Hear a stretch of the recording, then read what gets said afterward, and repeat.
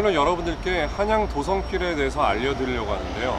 그 한양 도성길 중에서도 제가 선택한 코스는 여기 동대문에서부터 해암문까지 가는 코스입니다.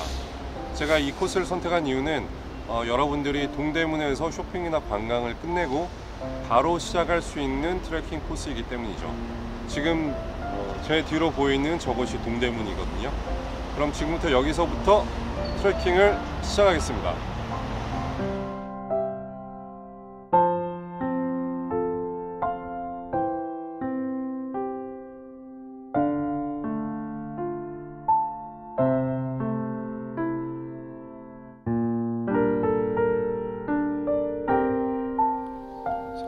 따라 걷다 보니까 이렇게 되게 예쁜 집들도 나오네요.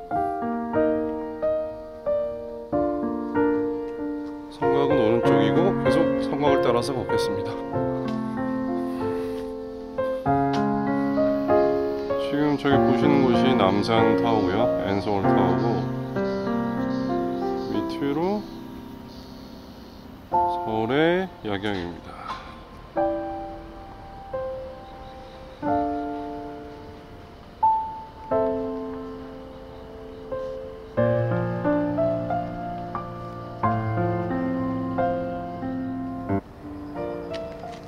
한양 도성길 중간중간에는 쉼터가 마련되어 있어서 힘들면은 쉬어갈 수도 있고 어, 뭐 쉬면서 지금 가지고 있는 고민들도 생각을 해볼 수가 있을 것 같아요. 저 같은 경우는 지금 가장 큰 고민이 유튜브를 이제 채널 만들어서 시작했는데 언제 100만 명이 넘을까? 넘을 수 있을까? 아예 못 넘을까?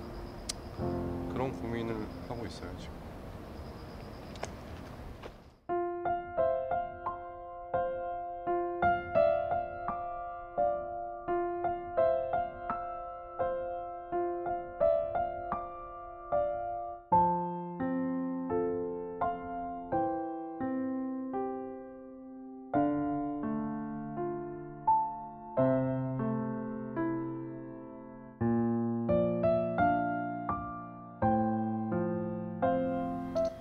내려가는 길이 좀 가팔라서 내려가실 때는 조금 주의를 하셔야 될 것 같아요.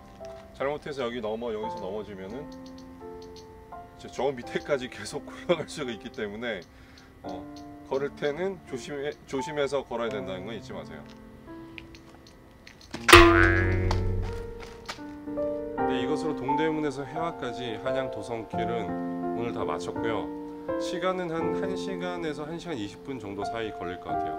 그거는 이제 걷는 속도에 따라서 다를 것 같고 어, 여러분들이 이게 마음에 드셨다면은 댓글을 달아주시면 한양 도성길 나머지 세 군데도 제가 어, 여러분들과 함께 가도록 하겠습니다. 그리고 오늘 보신 이 모든 서울의 야경은 여러분들 마음속에 저장.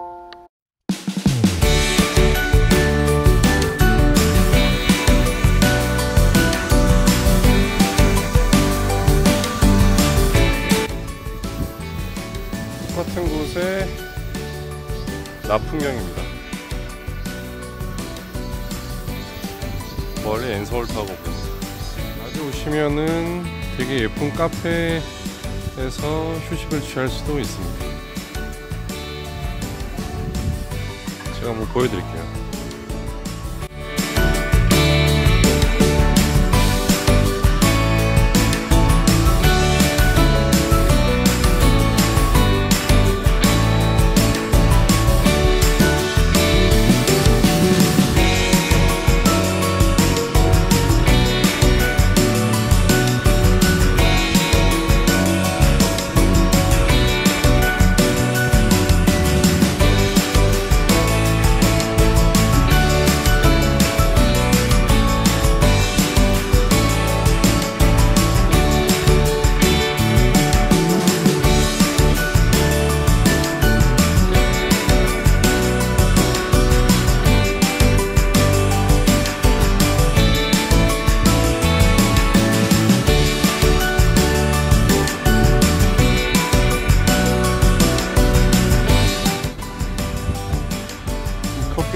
나오셔서 밑으로 내려가시면 이화 벽화 마을로 갈 수 있습니다.